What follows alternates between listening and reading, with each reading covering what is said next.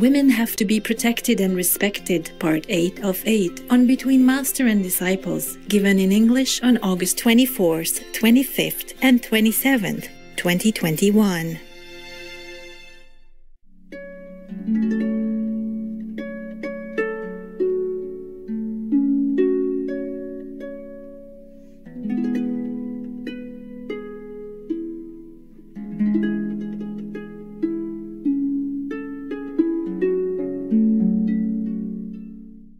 Warning sensitive content. The Americans, for 20 years, they stay in Afghanistan, even just 20 years. But at least in this span of time, they give the Afghan the freedom that they seek, the education that they long for for the woman, Yes. and the and the safety feeling for little girls. Yes. I don't like because they represent war. I'm scared whenever. It gives me shivers when I see the many uniform. I'm not for war. I know war was like. People just dying everywhere. Blood runs like river. I've been living through that too. With not enough food, not enough clothing, don't know if you die or live tomorrow. I don't like war. I hate war. I don't like shoulders. But at least these 20 years, the Afghan woman, no freedom, Yeah. no respect, and no safety. Especially for little girls who don't worry they come to, to be kidnapped and sent away anywhere they don't even know where to be some sex slave at the tender age of 12. Imagine that. They No, must terrible. the children, they have the right to live their childhood, not to go to have sex or to be a sex slave or anybody of these killers, killer men, and then marrying children and then maybe die after that. This is not a life where children goes. You understand me? No, it's it's cannot be. Yeah, so at least it's- in the 20 years, many Americans think it's a waste of money and time. I do also think like that.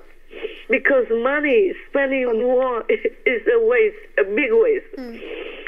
But in this case, for 20 years, even they don't fight, they don't do anything. Their presence assure the Afghans, especially women and little girls, that they're safe Yes. that they they're free. They can go to school, they can go to college, they can go to play football, whatever they want, or they can go to watch games and they can watch TV. They can sing when they feel happy. They can dance around when they feel Yes. gladdened in their hearts. Right. Now all that is gone, Yeah. so they just run after strangers like that, mm. trusting their lives into the hands of the American soldiers. All this I cannot cry enough.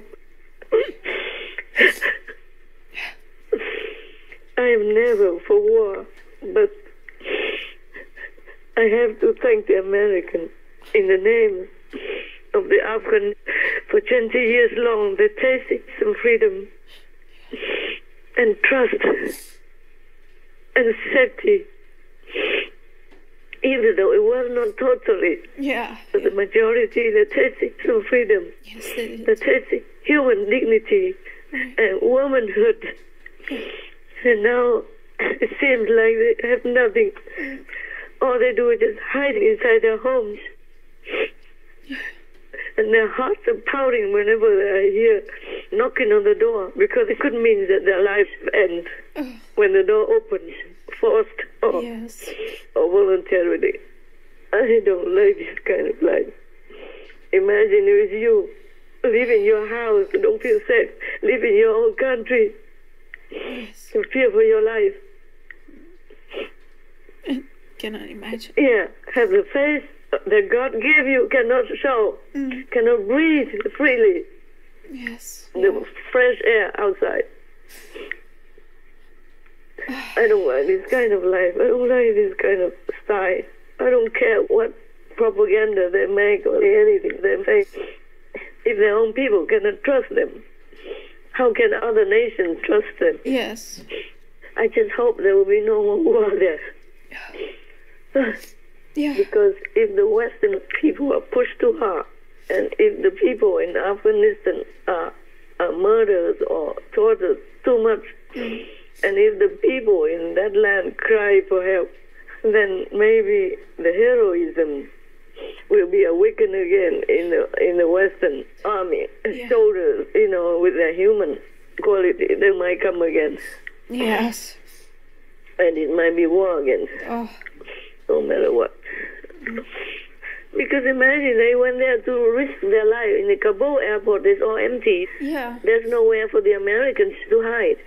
No. They came with just uh, some guns. That's all. Guns in their hands. There's nothing, no bomb, no nothing to protect them. Yeah. Yeah.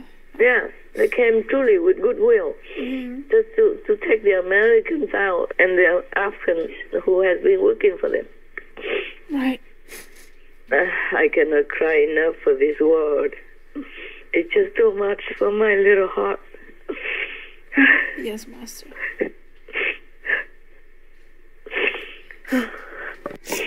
Thank you. Thank you for your love. Anything you want to tell me, or any comments you should tell me. Um, not really. Just um. Sorry, making you cry too. Yes. Uh.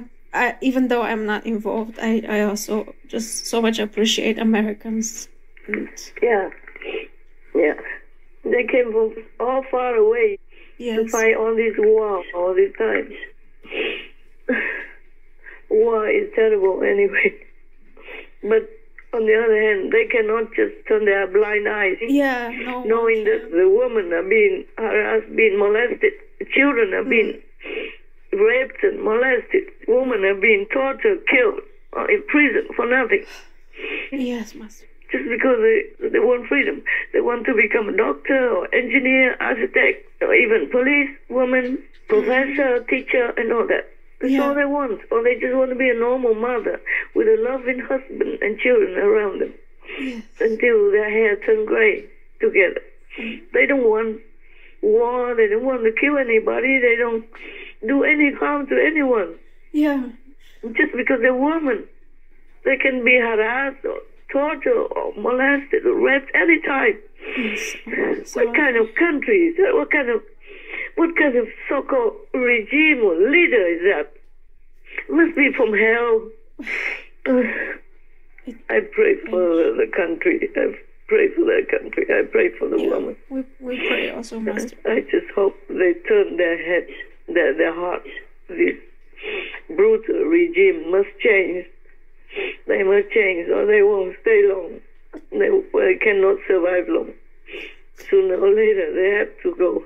This kind of regime is against people. The the regime, the government is supposed to take care of people. You Right. understand? Here, here, not only they don't take care, they torture women, rape children, anytime, anywhere they want, just because they have guns. This Horrible. is this is it's not human. You understand me? Yeah, it's not. Real humans don't do that. No. Real macho men don't do this kind of low life stuff. Really low life. It's really beyond any humane No. Oh, quality. yes. Not human. No. Not human. Not human. Not human. Don't know what kind of blood is running in their veins. Now you know why I'm angry. Huh? Oh. I'm not just angry. I'm in pain for them. You understand yes, me? understand. It, it sounds like hell to me. Yeah, it does. On August 25, 2021, Master conveyed her thoughts on the news that the Taliban was not allowing any more Afghans to leave the country. I think the Taliban should let the Afghans and Americans out of Afghanistan.